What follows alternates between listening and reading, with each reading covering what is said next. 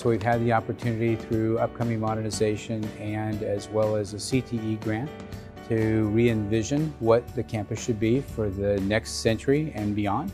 The space was made for education maybe 100 years ago. Now it really does speak to what the kids are actually doing. You can't cram a film studio into a classroom of 20 years ago. It doesn't even make sense.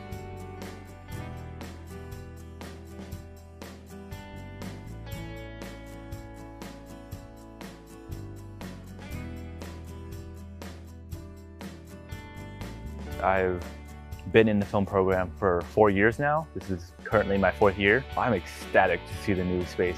It's so cool to like have a giant space for like the green screen, the lighting rigs. I'm, I'm looking forward to it. I'm in the film program this year.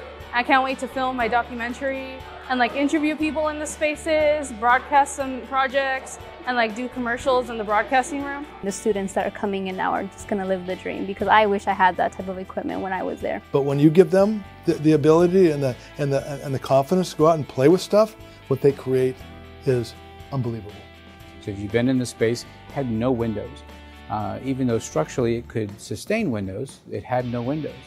So one of the things we did was uh, blew out some of the walls and put floor to ceiling windows in the space to be able to allow us to uh, really kind of give the students some, some respite and to bring natural light into the space and views into the already beautiful campus.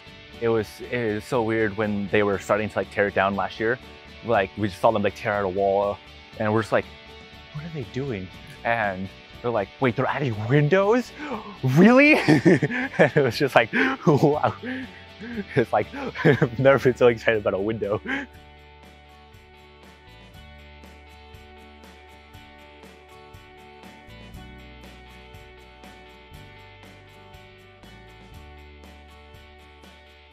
This new space is gonna make like a world of changes beyond even the ones I can imagine.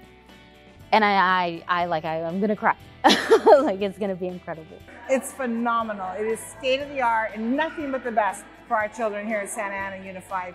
The, the changes have been night and day. I'm just ready to go in and like experience everything we can do and like really create. To be able to uh, hopefully change lives uh, with the high quality work that can be produced in the state of the art facility. It's real now. I, you know, it's it's overwhelming and it's like, wow, some somebody believes in us. Now we get to create.